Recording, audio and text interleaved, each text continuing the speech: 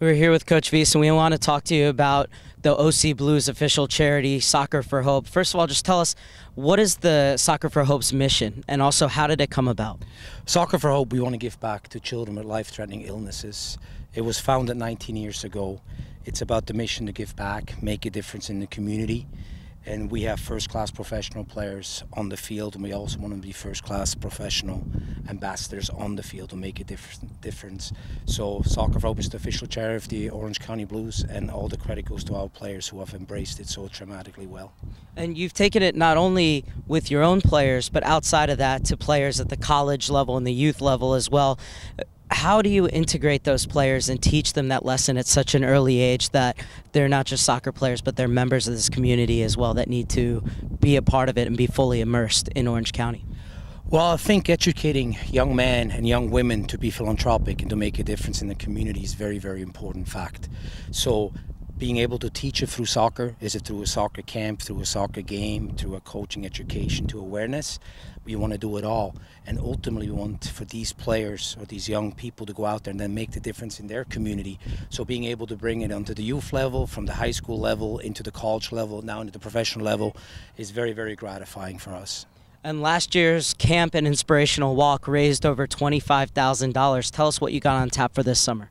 Well, we're going to do the same. It's going to be our 19th year of our camp and our inspiration walk. And obviously, we have other fundraisers as well. We just had an awareness game for two college teams, Cal State Fullerton and LMU women put on for us.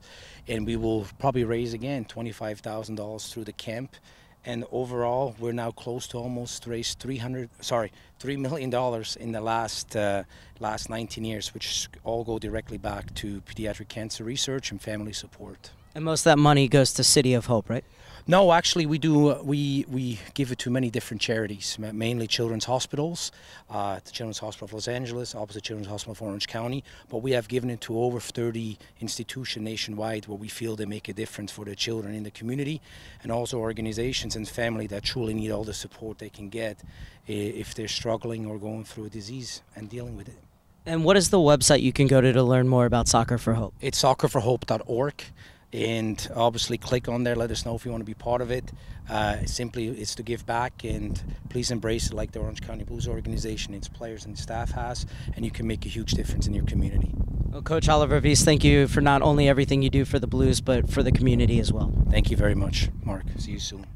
Evan, on behalf of the entire Orange County Blues FC organization and the rest of your teammates, hey! offside! we want to thank you for your ongoing support and your generosity for supplying us with the tins and all the wonderful words you be sending us every time.